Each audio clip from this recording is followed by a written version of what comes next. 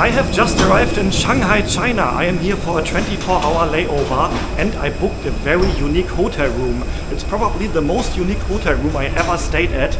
The name of the room is Secret Cave. The pictures look really, really interesting. So let's check it out and see if it's worth the $250 I'm paying for it.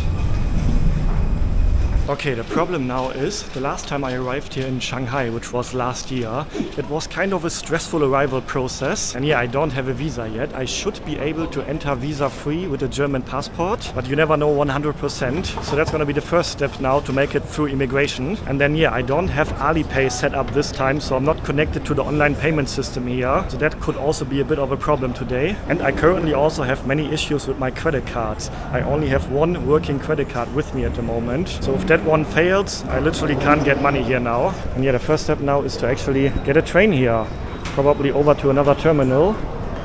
And I remember this train from the last time I arrived here in Shanghai, which was exactly the same. And yeah, the hotel where we are staying today is actually quite near the airport. So I was looking for airport hotels or hotels that are very near the airport because I'm literally only here for 24 hours. And then I found this uh, secret cave hotel room. So I'm really looking forward to that and now check out the beautiful skyline of Shanghai. Probably my favorite skyline in the whole world. And yeah, I'm also really keen to eat proper Chinese food later today. It's been a while since my last visit to China and to be honest, I miss Chinese food. So let's see if we can also find some decent food later at the hotel. But first things first, arrival, getting into the country and then finding my suitcase. And we have the foreigner fingerprint self-collection area here, which is nothing unusual. The last time I filmed my arrival in China, there, there were many people in the comment section complaining about, oh, why is China collecting your fingerprints? Hey, every country in Asia does this. So you scan your passport first, and then you place your fingers here. They get scanned. Yeah, currently there's still the rule that German passport holders, along uh, with some other countries, can enter China visa free for 15 days. Actually, they just extended the period um, in which this is possible to uh, mid next year. Yeah. Okay. Thank you. Visa on arrival, travel document. In theory, I could also just get uh, the 144-hour transit visa because I am only here for 24 hours actually anyway. So actually, I have two options: get the 144-hour visa or just enter visa free, which is probably the easier option. Alright, so here we have the, the visa, the arrival section. So here I'm not allowed to film, so hopefully see you on the other side. And I am in the country. That was actually a very smooth and easy process, although I have to say it took a bit longer than the last time. Now I had to wait for like 15-20 minutes, which is still absolutely okay. But the last time I arrived here, I was literally the only foreigner, so I had zero waiting time at all. So I see a difference. Seems like uh, more foreigners are arriving here in China these days. And actually I need to check the screen where my bag is. Oh, actually, there's a money exchange place here, and I still have some money left from Macau, where I was a few months ago. So maybe I can just change my Macau money into Chinese money, and then maybe that's enough for one day. So I still have 120 Macau Pataca left. Hello, can I change Macau money? Macau? Macau, yeah. Yeah? Yeah. To Chinese yuan? I think the conversion from Macau money to Chinese yuan is almost one to one. So I should get uh, almost 120 yuan in return. So you give me 140 Macau. Yeah, or 140, not 120. They rate 100 Macau. You can get this Chinese money. 100. Can I add some Hong Kong dollar as well? Uh, yeah, Hong Kong dollar can change. I have uh, 60 Hong Kong dollar, I think. Okay, I also have uh, 60 Hong Kong dollar left. So I will add them now to get more in total. And uh, if you give me 60 and uh, uh, this one no commission, you can get this Chinese money. Okay. Okay. Okay, Put that down and the passport, please. Yeah, that's why I usually avoid uh, these currency exchange uh, places because you always lose some money because of uh, usually not the best rates. And uh, most of these places also have a commission like now. So usually I prefer to just get money from the ATM with my credit card, where the conversion rate is much better and my credit card doesn't charge me for international withdrawals. Okay, I have 135 Chinese yuan now. That should be enough for one day. Basically, all I need to pay is my dinner today. I have breakfast included in this day, and I also have transportation included. But more about that in a minute. First, let me actually get my bag. Okay, so included in the hotel is free airport transfer to the hotel now and then also tomorrow back to the airport. The only thing now is I need to contact them. So they wrote me when I booked the hotel yesterday, they sent me a message that I should contact them as soon as I have my luggage and then they will uh, send their driver. The problem is I just need to contact them now. So they gave me their phone number, but I uh, can't make phone calls. I have a SIM card already, more about that uh, later as well. But this SIM card is only for mobile data, not for phone calls. But the hotel actually thought about that as well, and they told me in case you can't make phone calls, just ask the airport staff, uh, they will help you out. So let's see if I can find someone uh, who will help me out to make the phone call. Unfortunately, the hotel is not waiting for me here with a sign with my name on it. That would be very cool. But it's actually not a five-star hotel, so I'm not sure how good the service will be. The room will be very special. I'm uh, really looking forward to that. But it's actually, despite the high price of $250, not a five-star hotel today. So I would expect a five-star hotel would probably uh, pick you up here with the sign. But I'm not staying in a five-star hotel. Okay, let me actually figure out first where I have to go. So they sent me the location, some uh, pickup uh, area here. So I have internet already so I can actually uh, check the message that they wrote me. If your phone is unable to contact, you can ask any airport staff around to give us a call. They will be happy to help. Hello, ni. I have a question.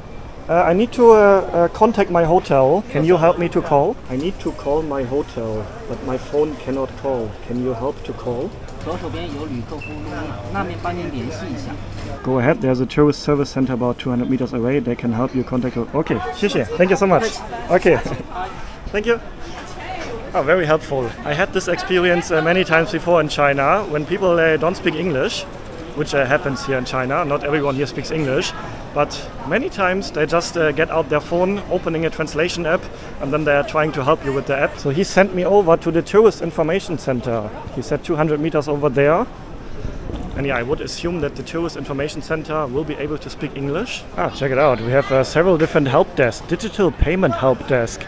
So probably they can help you to uh, set up Alipay, public transportation help desk, information desk. Not sure if this desk was here the last time I arrived in Shanghai, or maybe I just haven't seen it. Well, let's see if the information desk ladies can help here. Hi, I don't need a SIM card, no. Can you help me to call my hotel? Oh yeah, sure. I need to call the hotel to Oh, pick me up. You mean you mean I call the hotel for you, right? That would be great, yeah. Because I cannot make a phone call with my phone. What's the like the re- reservation name? Uh, Ken, 你好，呃，我这里有两呃，how many people？ this one. 呃，有一个人他说他订了你们酒店，然后要你来机场接他。So Sounds like a complicated uh, talk. Yes, so they asked you to go to um, P2, the parking lot number Yeah, that's, two. that's right, yeah, right? Yeah, and there's a there's a like a Zoom. Zoom number is H Yeah. H6. Yeah. So you you can you can tell them you are there at H6, and they will call a cab to pick you up. They will send you the the, the license The plate plate, yeah, the plate number. Okay, thank you so much for your help. Okay, 谢谢. Bye bye. Okay, turns out to be a longer process than expected. I'm not sure. She was literally talking with them for like three, four minutes. What I would have guessed is an easy call. Hey, Mr. Ken is here. Please pick him up. Was a bit longer than that. But uh, yeah, should be fine. So I just texted them actually that I am at the meeting point, and now they will send the taxi. So it looks like they're actually sending a taxi, not not their own shuttle bus. Anyway, I don't really mind. Who will pick me up? Okay, meeting point H6. Or Actually, it says H9. Is this now the number to follow, H9 or this one, number 6? But yeah, I see H over there, so this is definitely the H area. So I think this should be the right one. And yeah, while I'm waiting for my pickup, let me tell you why I don't need a SIM card. You probably know this when you arrive in a new country, one of the first things you have to do is getting a SIM card. And that can be stressful, take some time, and it's just annoying, especially if you have a long flight before. And especially here in China, I remember last year I also went to buy a SIM card and I actually had to go to a proper shop in the city and then I had to register myself, I had to sign some documents. So it was quite a long process until I was actually able to get the SIM card. But yeah, now I don't need SIM cards anymore because I started to use eSIMs. And an eSIM is basically a digital SIM card that you can install to your phone even before you start the journey. So I got myself a China eSIM yesterday evening. I installed everything and then I was able to connect with the internet right away after I landed. So that is of course also really great. You are connected with the internet right away. You don't have to wait until you find a SIM card card shop. And yeah, the app that I am using to get my eSIMs is called Nomad. And they have over 170 countries available in the app. It's very easy. You just choose the country, then you choose a data plan. The app tells you exactly step by step how to install everything. You can get it done in like two minutes. So I did everything yesterday evening. Very easy. And if you want to check out Nomad eSIMs as well, there's a link in the description or on the pinned comment. And if you enter the promo code that you can see on the screen right now, you can get 25% off your first purchase on the Just use this promo code right here and yeah, make sure that your phone actually does support eSIMs, but most phones nowadays do. Okay, update. A few minutes later they have replied. Apparently the driver drove into the wrong entrance, so I have to go to L level. Okay, this is the L area. You can see it over there. L 17, 18. I think it's this one right here.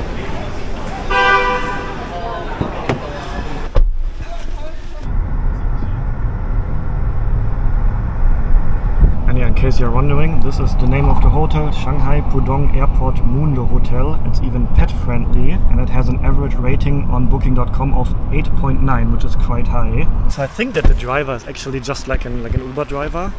She's not uh, part of the hotel.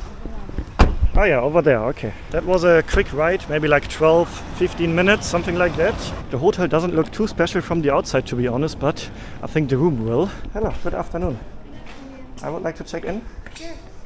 Is that your most special room here? Yes. It looks very, very special on the pictures. Right. That's the only reason why I booked this place, because the pictures of the room looked so special. Thank you for your. Why do you have such a unique room here?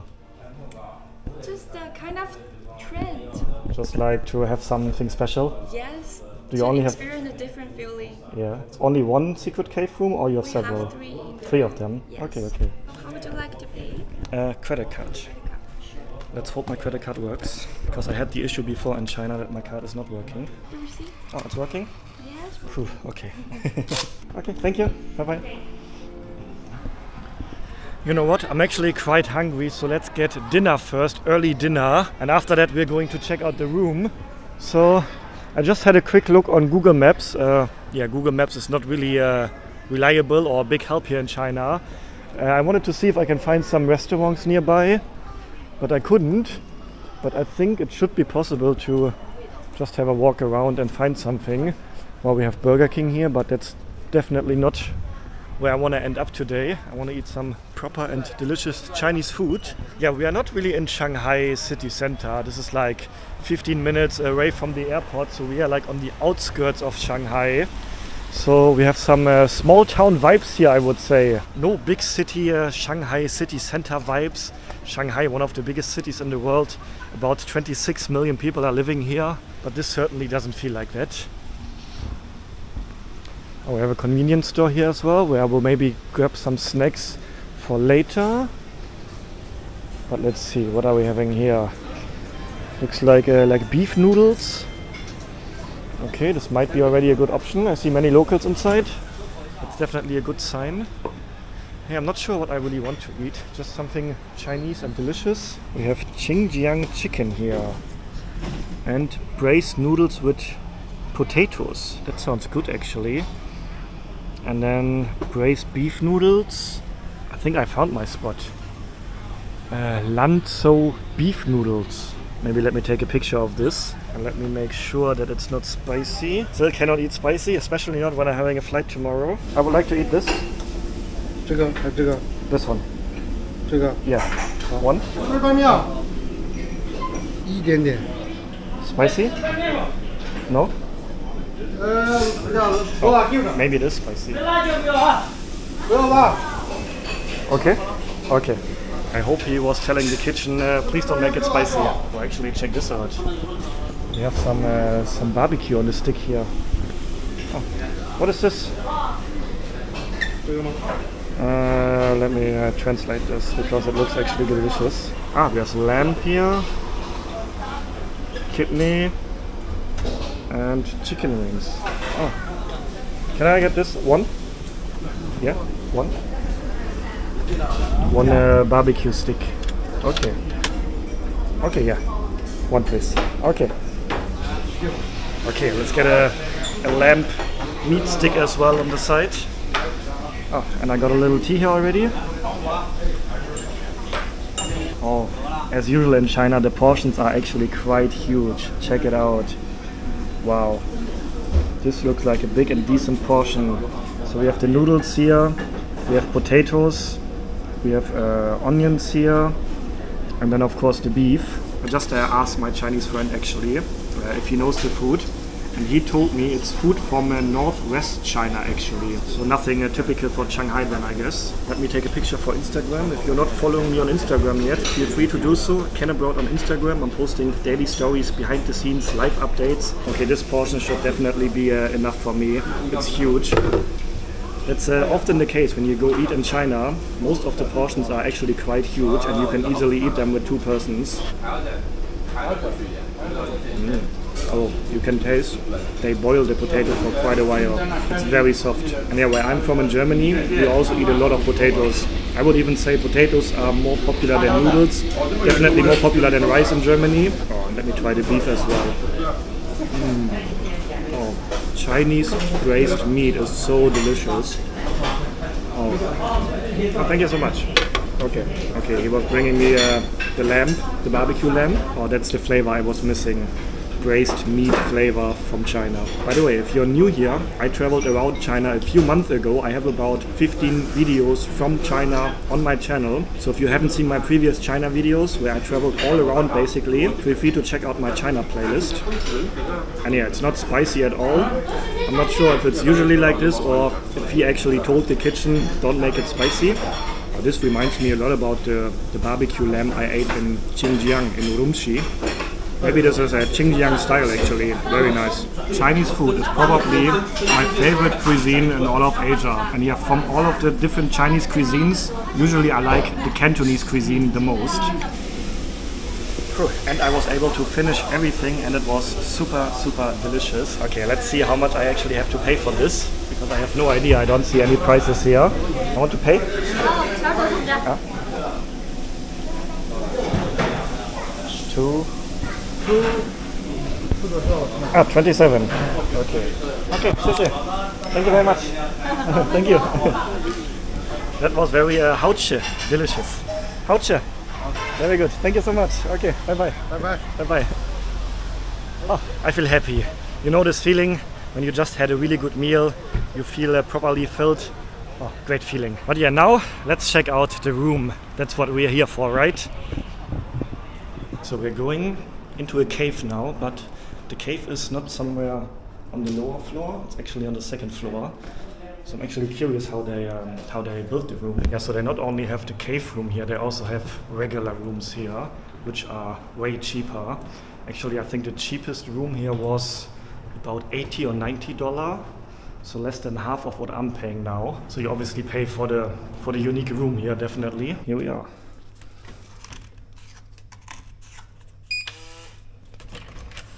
Okay, are you ready for the secret cave room? Okay, first of all, oh wow. Let me make proper light for you guys.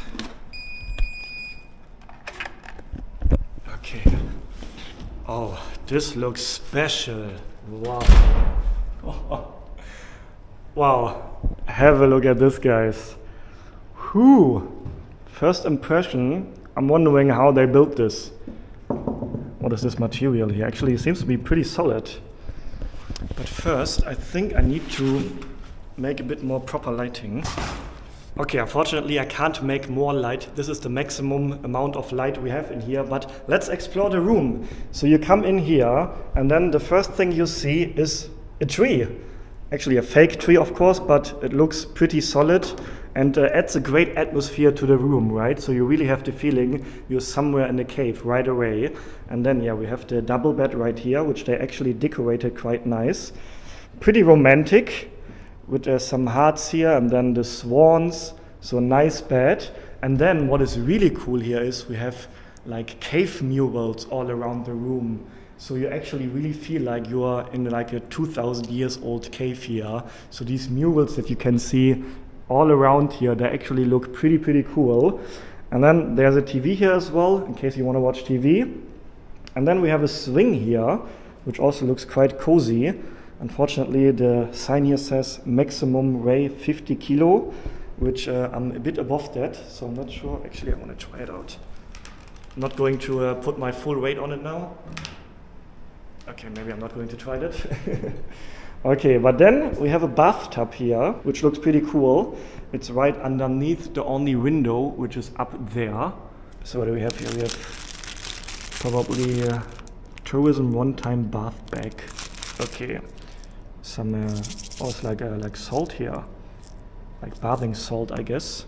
Okay, and then we have a mini bar here. Let's see if there's something inside. No, nothing inside. Just an empty fridge. But we do have uh, water here and coffee, espresso and tea. And then there's also a bottle of wine here, which I would assume if you're paying $250 a night, this is going to be included. Then there's a little box here. What's inside the box? oh, oh wow, this is funny. There's a costume in here. So you can dress like a like a caveman or a cave girl. That's funny. Should I put on the, the costume? Maybe not. and then we have a little drum here and uh, some chocolate. Also lovely. Looking forward to try that. And then the view to the room is just like this. Very, very cozy, very special, very unique. And then here in the back we have the bathroom which is like an open area like this. So the sink is here. We have soap. We have uh, two little towels. What are we having here? Probably a soap, uh, a mask, and then we have a big towels down here and middle-sized towels here, a hair dryer. Here's an area where you can leave your suitcase. And then we have the toilet right here. Nothing too special about the toilet. And then the shower is right here. Looks like this, okay. And yeah, look at the design here as well. This is so nicely done. So many little details here and there. And yeah, this, it's not proper stone, I guess, but actually it feels pretty, pretty proper and solid. So this is not like, like cheap plastic or anything. If you bump your head here, that would uh, really hurt a lot, I guess.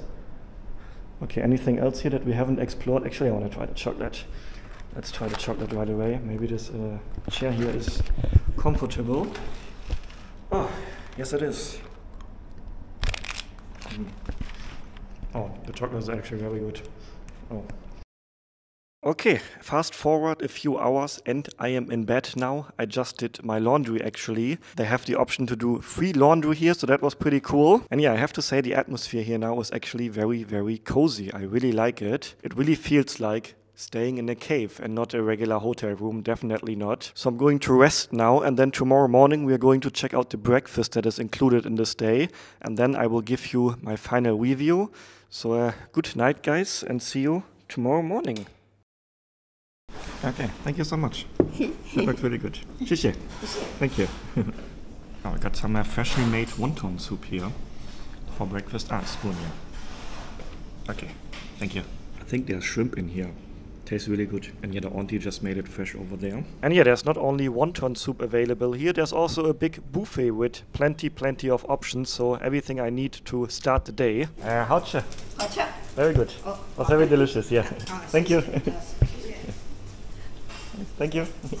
I just want to mention that yes, I will leave China again in a few hours, but my next videos will actually be about China as well. I'm starting a series which is not in China, but it's related to China. We are going to visit different places in different countries in Southeast Asia, and it will be related to China. That's all I want to say for now, so stay tuned for the next videos. Okay, I'm doing the final review now here in the bathtub. Uh, first of all, the sleep here was amazing. The room is super, super quiet, and I am a very light sleeper, so if there's a noisy main road in front of my window or a noisy aircon unit, that's already quite annoying to me. And here there were absolutely zero noises, so the sleep was very, very good. To be honest, I feel that I am not 20 anymore, so if I don't have a proper rest, I really feel that in the morning. Now that I'm over 30, that was definitely different 10 years ago. But here I feel very well rested. I didn't wake up once in the night, so that is actually pretty great. And then, yeah, how would I rate my overall stay here? So, first of all, I have to say it feels a bit weird to pay $250 and not stay in a luxurious five star hotel. You saw me here on the channel doing uh, hotel reviews before where I spent less money and stayed in like fancy, luxurious five star hotels all around Southeast Asia and also here in East Asia. It's definitely possible to get luxury five star hotels for less than $200, where you get uh, top amenities, a nice pool, awesome service, nice restaurants attached to the hotel, and all of that you don't have here. So you're paying $250 and you're not staying in a five star luxury hotel, but you're paying for staying in such a unique room. And that was definitely the case. It was probably the most unique hotel room I ever stayed in. The room here is really well designed, so many little details. You can really see that they yeah, wanted to make something special here, and I think they did a really good job with that. So overall, I would say, is it worth $250? Um, for one night, yes, I wouldn't stay here for more than one night. Imagine if you stay here for four nights and then you pay a thousand dollar. That's not worth it, I think. But for one night, it was a cool experience. And I also love that it's so close to the airport. It's like 10, 15 minutes from here to the airport. So I'm heading back uh, to the airport after I check out. Very easy, very convenient for layover. And like I said earlier, they also have normal rooms here for less than half the price. If you want to check out this hotel as well, I will leave a link where I booked it in the description. And if you haven't seen my previous video where I was still in South Korea, on the biggest island there, then feel free to check out the video right here. Stay healthy, stay positive, and then see you on the next episode. Ciao, guys.